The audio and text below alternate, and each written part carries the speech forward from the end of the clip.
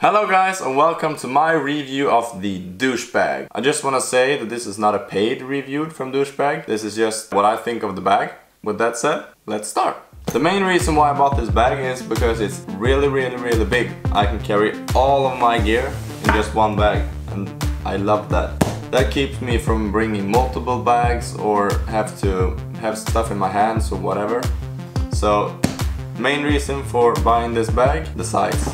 As you can see, it's massive. I don't even know, yeah. You can fit whatever gear you want in this one. So if you're looking for a gear bag that is really big, this is the one to go. With that said, let's move on. Let's look at the structure. I've got the gray one with the white details and if you're new to this brand douchebag, the good thing about douchebag is they're very smart. You see these small straps? These are used for hooking up bags with another bag. So with that said, you can hook this bag up with a smaller douchebag. Just click it on these straps. Thumbs up for that. The first thing I noticed when I opened up the bag from, uh, from the store is that it's a really really good quality bag. The material feels fantastic, everything just feels really good. Big plus for that. I don't see this failing on me anytime soon. Let's take a look at the straps. The straps are normal, two normal straps, uh, no straps in between or at the waist, just two normal shoulder straps. It has a small douchebag logo on the right one, which, uh, yeah, I like it. It's a good design. The piece that is against your back is really firm and really comfortable to have against your back. Left side of the bag, you have a big douchebag logo. Also on the front side you have a douchebag logo, which I quite like. It's a good color combination with this gray and white. And on the front we've already seen the straps, but also you have this big handle. Take it up, you can carry it away with no problem. So yeah. Let's move to the inside. This bag has two compartments, one big and one small. The big one you open from top so you can remove all this and now you're gonna see how much it fits. So this is my packing of today. Here's not just one and not just two pillows but three sleeping pillows. Meaning it's gigantic. You can fit whatever you like in here.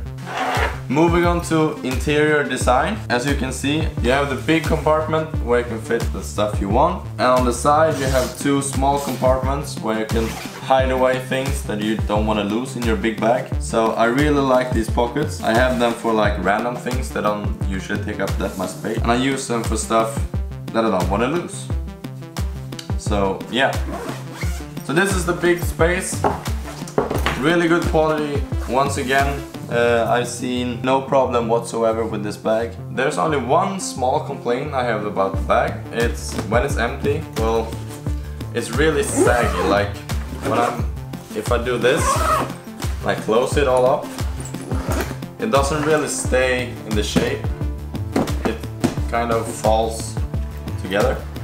And especially like, yeah, as you can see, it doesn't really keep its shape. But yeah, that's a really small complaint. I can live with that. Moving on, we're going to the small compartment on top. This is a compartment that you open from the top, like this, with a zipper. The compartment is big enough to hold at least one full-size uh, towel, which is quite big for being a small compartment. I can fit my camera in here if I want to. That's no problem whatsoever. But for this compartment I'm usually keeping my keys, my hard drive, wallet, passport, or actually the passport goes in this small pocket here. Also in this small pocket, if you're really careful about your keys or whatever, you can hook it up to this small little hook thingy right here. As I was saying before about the hookup system that Douchebag brings you guys, this is the clamp that you hook it up with. So you just take these, hook them onto the straps, and then you're ready to go. Conclusion of this bag. One, it's really big. Two, it fits whatever you like. If you're looking for a big backpack, this is the way to go.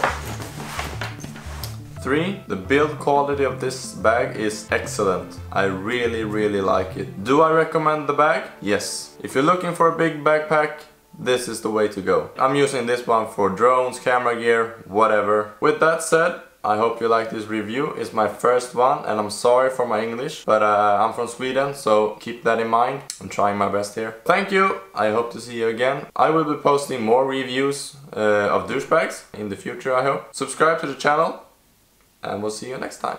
Thanks for watching. Bye.